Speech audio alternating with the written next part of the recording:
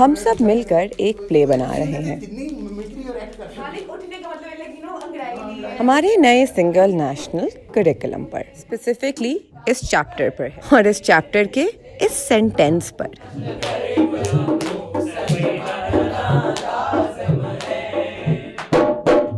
मेरा नाम अरफा करीम है। मैं अपनी ज़िंदगी की सबसे कम उम्र माइक्रोसॉफ्ट आईटी एक्सपर्ट थी। मुझे इस बात की बहुत खुशी है कि मेरा नाम सिंगल नेशनल करिकुलम में शामिल है ताकि मैं अपनी जैसी और लड़कियों को इंस्पायर कर सकूँ। मैं स्मीना बेग आप सब मुझे जानते हैं।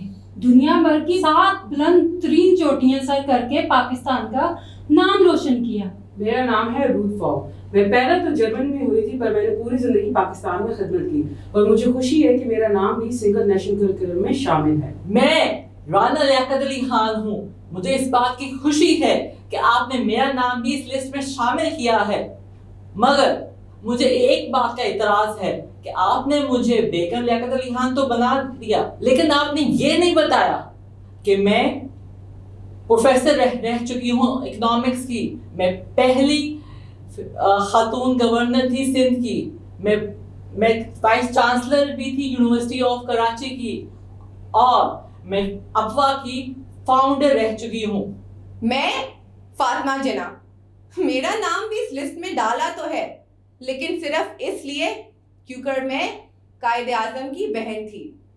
आपने ये तो बताया कि मैं डेंटल सर्जन थी, लेकिन ये नहीं बताया कि मैं प्री पार्टीशन इंडिया की पहली फीमेल डेंटल सर्जन थी। इसके अलावा आपने ये भी नहीं बताया कि मैं सियासतदान थी और 1965 के इलेक्शंस में मैं डिक्टेटरशिप के खिलाफ खड़ी हुई थी। जी हाँ ये वो खातन हैं जो सिर्फ़ सपोर्टिव रोल में नहीं है, बल्कि पाकिस्तान का पूरी दुनिया के लोगों को इंस्पायर करती है। एक्सेप्शनल वुमेन और इनको रिड्यूस कर देना कि सिर्फ़ ये कायद अजम की बहन थी, इनका रोल अब ये रह जाता है कि ये सपोर्ट करें, इससे ज़्यादा है।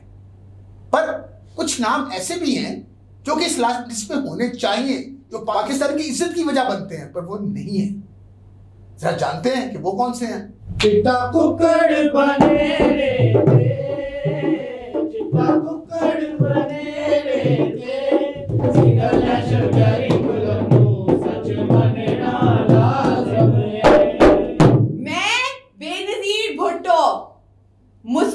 दुनिया की पहली खातून प्राइम मिनिस्टर। मैं हूँ Asma Jahangir Supreme Court Bar Association की first female president human right activist और human rights commission of Pakistan की फाउंडिंग मेंबर। मैं शर्मीन उबैद चनोय हूँ। मैं पाकिस्तान के लिए ऑस्कर लाई हूँ।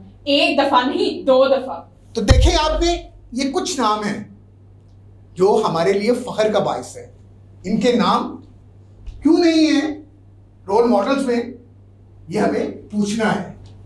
पर यकीन कीजिए, ये तो चंद नाम है जो हमने लिए। अगर हम मान लें कि खातन का वजूद सिर्फ़ सपोर्ट के लिए नहीं है, बल्कि वो मुल्क की तरक्की के लिए बराबर की शरीक है तो मुल्क हमारा ज़्यादा तरक्की कर सकता है।